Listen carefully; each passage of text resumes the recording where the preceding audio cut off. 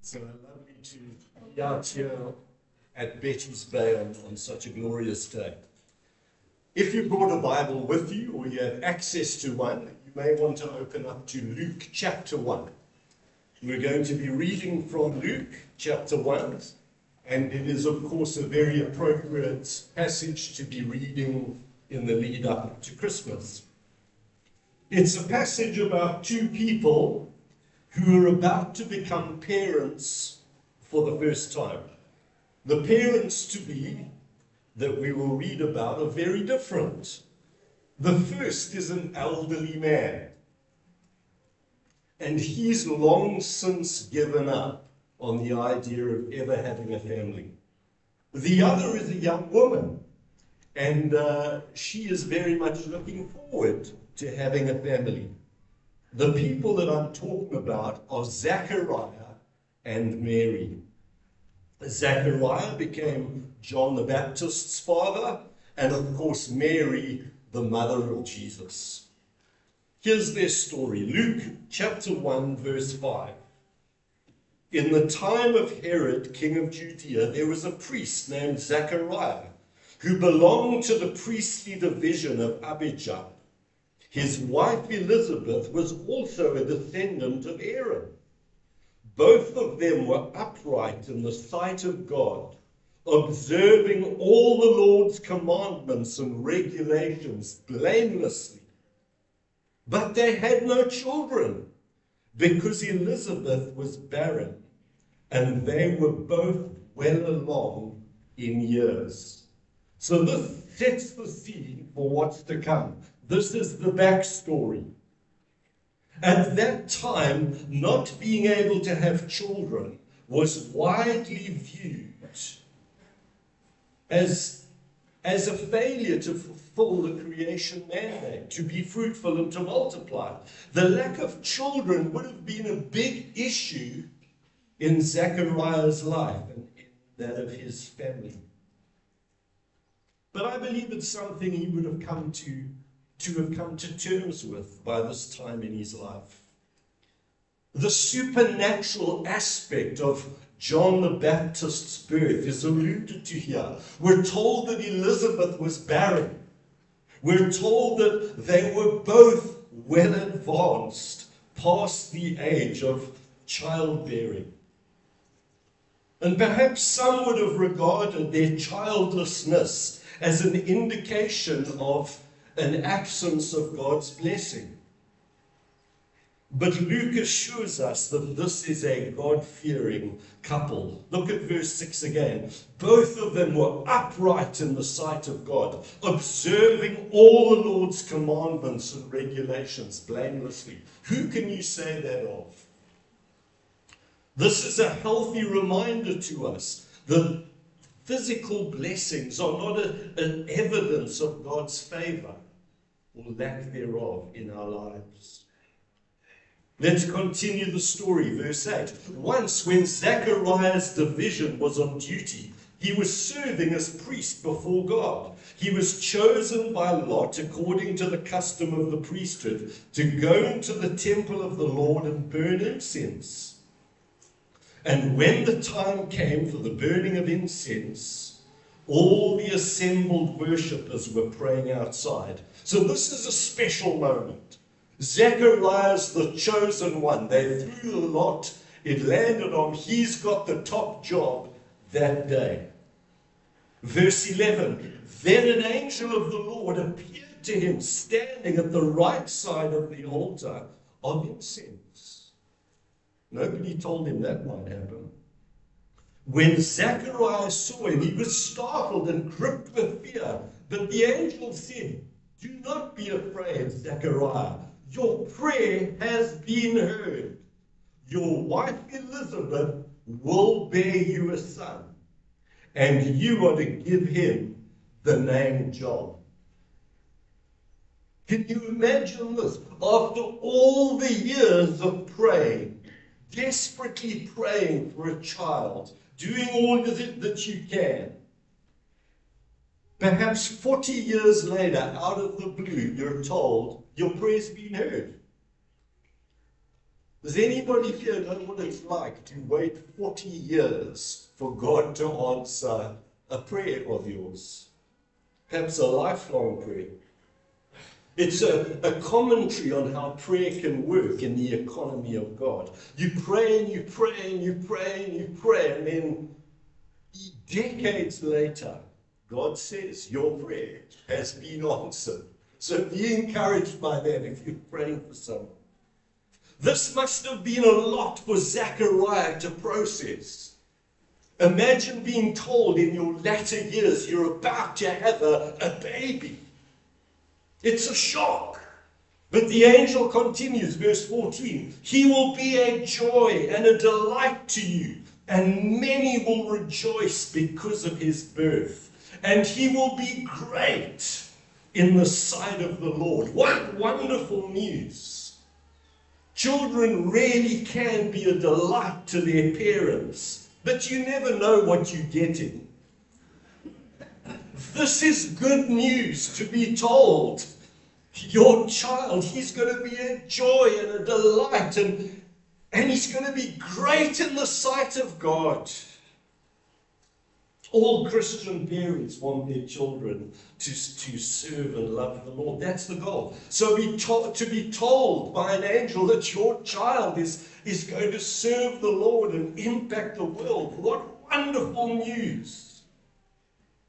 Now the angel Gabriel goes on to describe the kind of life that John must live and will live. Verse 15 He's never to take wine or other fermented drink. He will be filled with the Holy Spirit even from birth.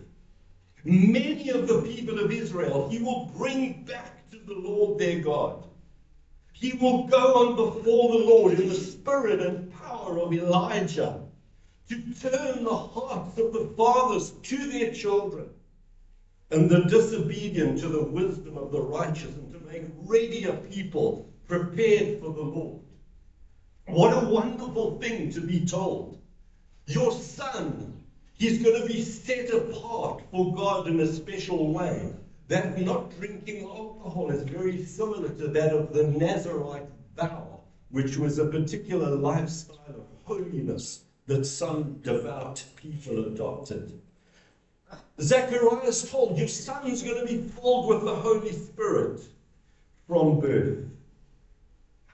You'll recall that later in this chapter, in verse 39 onwards, when Elizabeth went to visit Mary, or the other way around, Mary goes to visit Elizabeth, John the Baptist leaps in her womb and Elizabeth is filled with the Holy Spirit. And Elizabeth says, Why am I so favored that the mother of my Lord should come to me?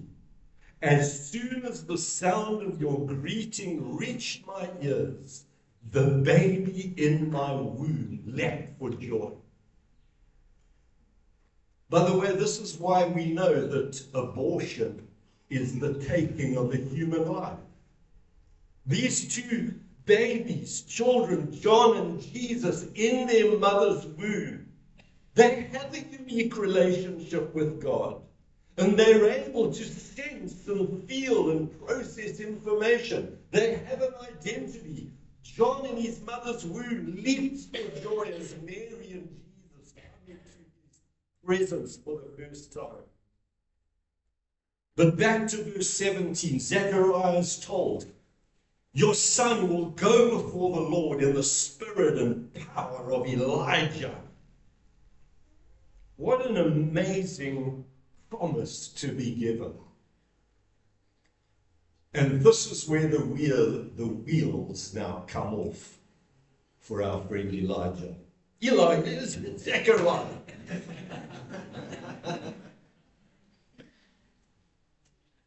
Because Zechariah is about to demonstrate for us the wrong way to respond to God when he speaks to you.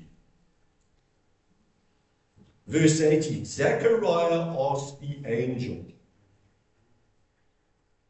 How can I be sure of this? How can I be sure of this? And the angel says, I am Gabriel. I stand in the presence of God, and I have been sent to speak to you and tell you this good news. And now you will be silent and not able to speak until the day this happens, because you did not believe my words, which will come true at the proper time.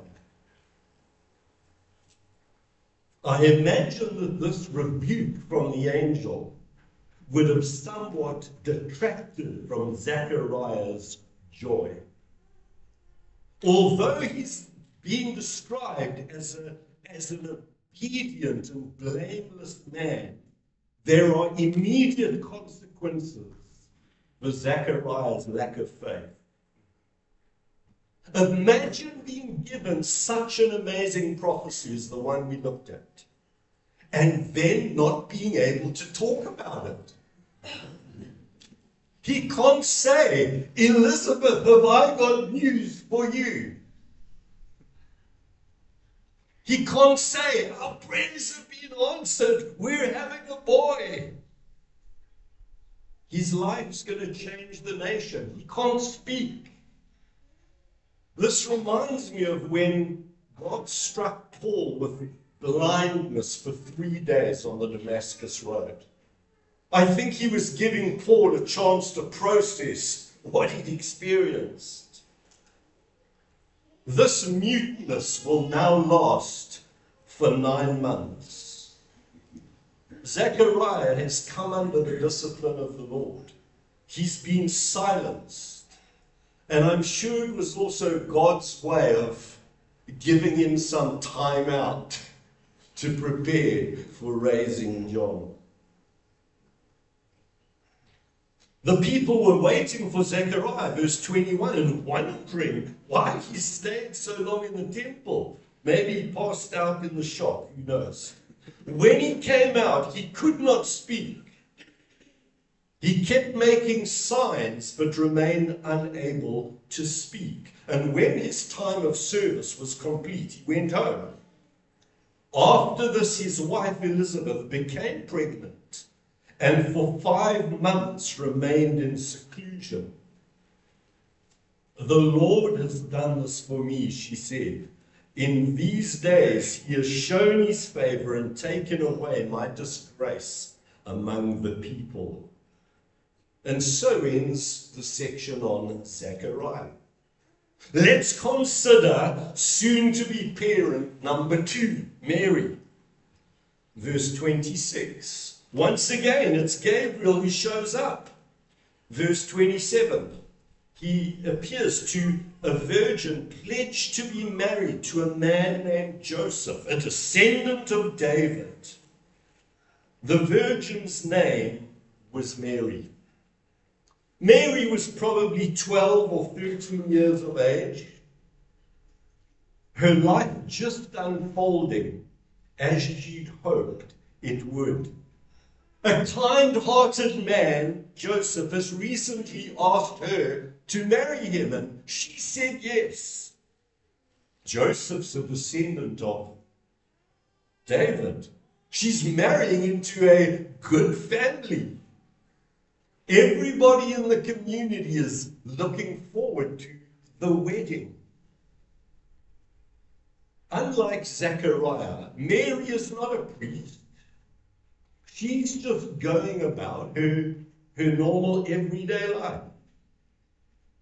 Verse 28 Gabriel went to her and said, Greetings, you who are highly favored. The Lord is with you. Mary was greatly troubled at his words and wondered what kind of greeting this might be. But the angel said, verse 30, Don't be afraid, Mary. You found favor with God. You will be with child and give birth to a son, and you're to give him the name Jesus. By the way, Mary and Zechariah both had this in common. They didn't have to figure out a name for their children. the angel goes on. Your son, he will be great He will be called the Son of the Most High. The Lord God will give him the throne of his father David. And he will reign over the house of Jacob forever. His kingdom will never end. As they say these days, let that sink in. Can you imagine Mary processing this? Remember, she's about to get married to Joseph, and now she hears this news. But it must have been wonderful to be told you found favor with God. You're going to have a child. The name Jesus is the Hebrew word Joshua, which means the Lord saves. And he's going to be on his father's David's throne. David was the greatest king Israel ever had. And Mary's told her son is going to be a greater king, greater power, greater authority, greater spiritual significance. And notice how Mary responds to Gabriel. It's very different to Zechariah. She says, How will this be? Mary asked the angel, Since I am a virgin. Zechariah's response was, how can I be sure of this? Mary's response is, But how will this be? Zechariah is reprimanded for his lack of faith, but Mary's genuine question is, is answered. The angel says, verse 25, the Holy Spirit will come upon you, and the power of the Most High will overshadow you. And so the Holy One to be born will be called the Son of God. Even Elizabeth, your relative, is going to have a child in her old age. And she who was said to be barren is in her sixth month. For nothing is impossible with God. And here's another amazing response from Mary May it be to me as you have said. That's a faith response. But in the Hebrew language, that's like saying, Amen. May it be as you have said. In this next part of the sermon, I want us to compare how Zechariah and Mary respond to the word of God that comes their way. There are many similarities. Neither Neither of them are expecting God to speak to them. They're both visited by Gabriel. They're both commended for their faith and their godliness. They're both told something utterly impossible. But they respond differently. Zechariah is skeptical. Mary is full of faith. We know that Zechariah's response was not neutral. This is not a, an innocent misunderstanding. Oh, there, Gabriel just thought that you know, he was expressing doubt. This is not, as the politicians would say, misspeaking. No, Zechariah is wrong. He's morally wrong in the way he responds to the word of God in his life. That's why his ability to speak for nine months is taken from him. Remember the angel, and now you will be silent and not able to speak because you did not believe my words. You know, if we, if we didn't know how the story played out, and we were given two characters to assess Zechariah and all his attributes, and Mary and all of her attributes. And we were asked the question which of these two do you think would respond positively to God? Well, Zechariah's walked with God all of his life. Mary's was a, a child a couple of months ago. Zechariah's the priest, the son of Aaron. He spent years studying the Torah. He's in full time ministry. He's on duty serving before the altar. They both receive a, an identical revelation from God. But the one disbelieves and the other believes. Reminds me of that very first sin in the Garden of Eden, where the question is asked Did God really say? Both Zechariah and Mary have questions, and we do have questions when it comes to matters of faith, and questions are fine. God answers her questions. Neither Zechariah nor Mary have that what's been told to them is so. that Mary chooses to believe. I want to make this clear because it's sometimes a matter of confusion for people. But doubting and believing are choices that we make. They are not just automated responses. Remember Jesus' words to Thomas, who unfortunately got the name Doubting Thomas, though he had plenty of faith. Jesus says to him in the upper room when he's expressing his doubts, he says to him, Stop doubting and believe. There are two actions there when it comes to responding to God's word. Stop doubting. That's something you do. Otherwise, Jesus wouldn't have told him to do it. Stop doubting and believe. That's also something we do. I'm reminded of the man in Mark chapter 9, who's also wrestling with faith and questions about a sick child, and says to Jesus, I do believe, but help my unbelief.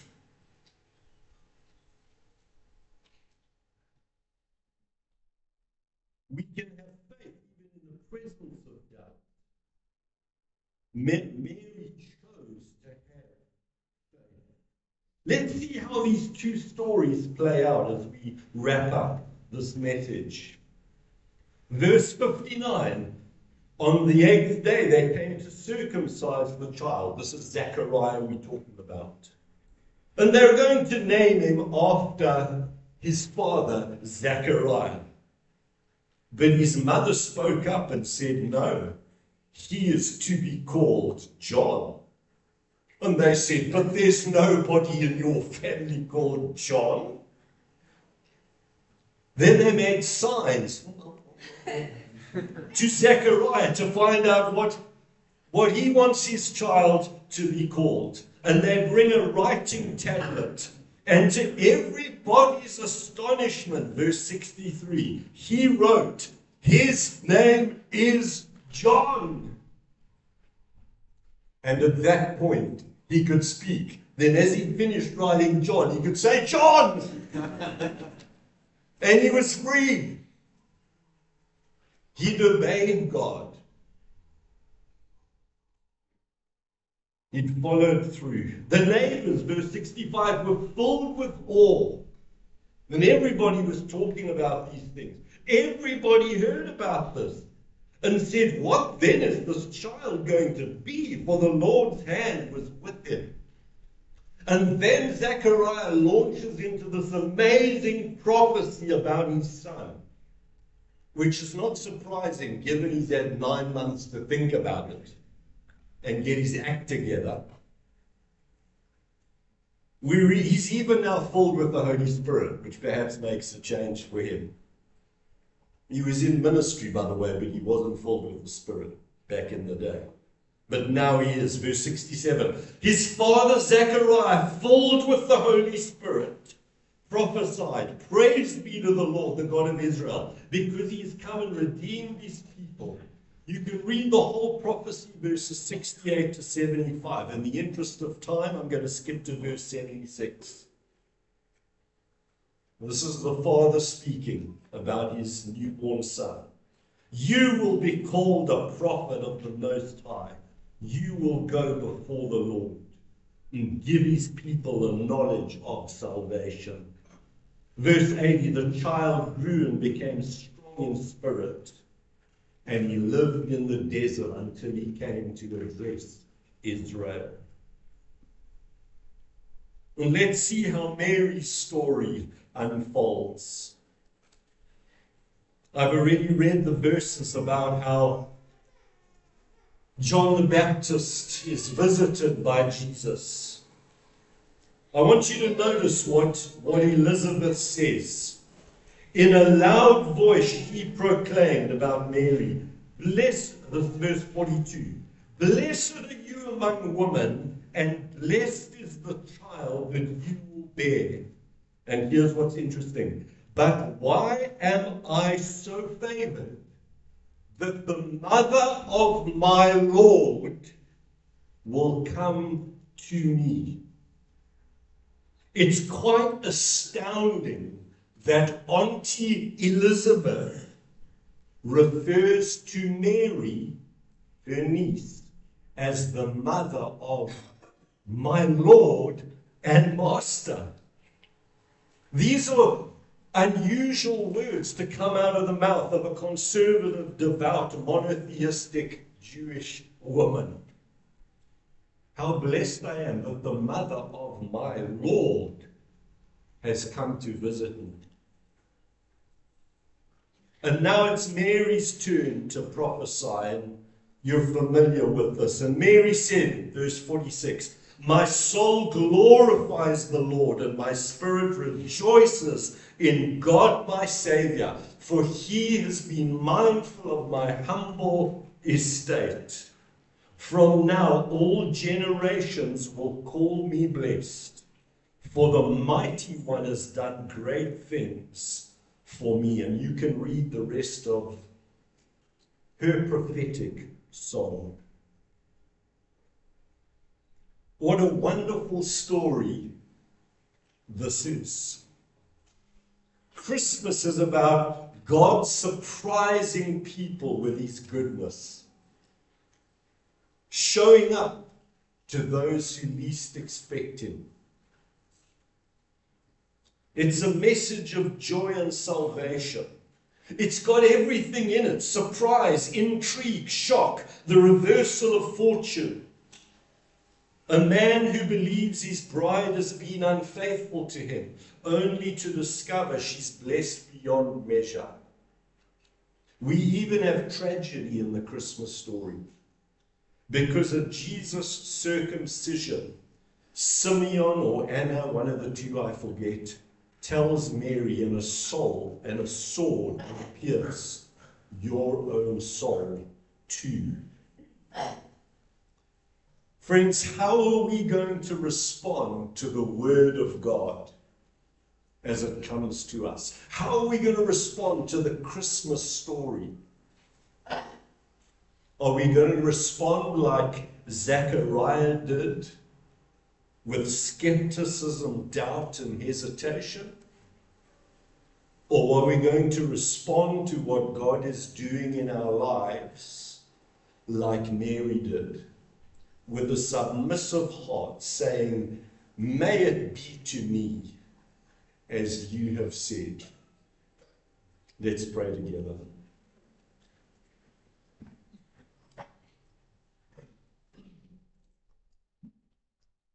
Lord, there's so much we can learn from these two people, Zechariah and Mary. We see how you work through ordinary people. And we see how you come and surprise people and, and answer prayers years after they've been prayed. And our heart's prayer today, Lord, is that we would be people who have faith. Even though we have questions, May, may we not be those who are skeptical and full of doubt and err on the side of not believing and sometimes thinking we're so clever in the process. Help us, Lord, to be like Mary, to be responsive to you, open to change, open to your plan and will for our lives. And thank you most of all, Lord, for sending Jesus.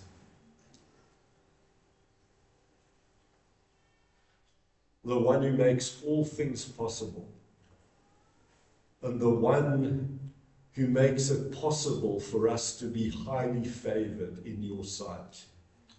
Thank you for the gift of righteousness that we receive from Jesus. We receive that gift.